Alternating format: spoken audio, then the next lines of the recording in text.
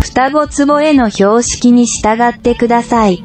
この道を降りると、大東自然公園に到着します。ここの生態環境は本当にとても良いです。早朝、太陽が眩しすぎず、環境全体が緑に見えます。いっぱいです。意味があり、とても快適です。日差しが強くないので、遠くまで美しく見え、桜の木も長く咲いています。とても美しいですね。鳥のさえずりが聞こえますか？この鳴き声は青いカササギです。青い鳥が巣を作っています。邪魔しないでください。私たちは道路を渡って、18曲がりの古道を歩き始めました。ここは特に注意してください。プールの隣です。道路を渡ると、このような標識が見えます。この標識の隣に、溝が見えますか？この溝を下っていきます。そこが古道の始まりです。この入り口を見つけるのに少し時間がかかりましたので、太陽が見えますも変わりました。大きいです。幸いなことに、古道の内側には緑の木々があります。それほど暑くはありません。古道のいくつかのセクションでは、この種のケーブルが必要です。皆さん、安全に注意してください。古道あまり広くなく、ここを歩いていると誰もいないので、時々少し緊張するかもしれません。幸いなことに、バイカラ街道は車の音が聞こえますが、この道は未舗装の道路が多く、少し滑りやすくなっています。もちろんバイカラ街道を走る車も木々の隙間から見えます。そのため、歩いていても寂しさを感じることはありません。この大きなケーブルプルを過ぎると、道路脇に下りてきますので、安全に気をつけてください。バイカラ街道を過ぎて反対側に来ると標識が残っていますが、登山者の跡が残っているので、見つけるのは難しくありません。ここに入ると、また短い未舗装の区間が続きます。この未舗装の道路を歩きます。車城50号の林家の隣の階段に着きます。階段を降りたら右折するのを忘れないでください。左側の子犬はとても獰猛で、非常にうるさく吠えます。この時期、あなたはちょうど桜を見逃していました。山にも谷にも、関係ありませんが、道沿いの花や植物もとても綺麗だったので、写真も撮ってシェアしました。道路には桜の花があちこちに散っています。まだかなり美しいです。ほんのりとした香りで、この花の香りはとても強いのですが、もちろん桜の香りとは知りませんでしたそれとも隣の花でしょうか？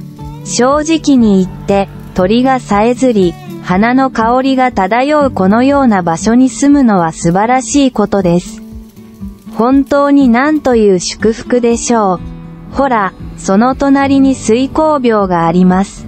とても嬉しくて、道に沿って少しだけ直進します。ここまで来たら左折して下るのですが、この区間は人と車が並んで歩いているので注意してください。途中で桜を眺めてみましょう。桜の季節なら、とても美しいはずですが、見逃してしまいました。遠くに観音菩薩が見えましたか？それが下島観音寺です。さらに歩いていくと、自転車に乗っている人がたくさん見えてきます。本当にすごいですね。道はとても険しいです。しかも最初から最後まで急勾配です。ここでレースができるんですね。本当に体力が羨ましいです。拍手です。このまま進めば筆徳寺に着きます。筆徳寺は皆さんのために特別に用意されているようで、とても広い敷地を占めており、トイレや飲み水も完備されているので、先に進む前に一休みすることもできます。実は、目の前の場所で、ボルダーガーデンに行ってから天元宮まで歩かなければならないのですが、親切な友人に会い、紹介してもらって歩き続けました。駅を出て左折して道なりに進みましたが、道沿いに歩くと景色は悪くありませんが、車が多いです。この道に沿って歩きます。人々は依然として細心の注意を払う必要があります。この道を一人で歩くのもとても楽しいです。桜、水田、素晴らしい生態環境が見られ、鳥、蝶、バチがたくさん飛び回っていましたが、日が少し明るかったので、写真を撮るために水田には行かずに歩き続けました。見えますか？この道には美しい桜がたくさんありますが、あまり驚かないでください。本当にこの日。最初に桜の写真を撮っておいてよかったです。ほとんどがつぼみだったので、数日後にまた来ようと思っていました。皆さんご存知の通り、台風並みの突風と雨が降り、花はすべて散ってしまいました。ということで、今年の桜は本当にここで終わりです。幸いなことに、私はその日に彼の写真を撮りました。みんなと共有しましょう。さあ、道中の景色を楽しみましょう。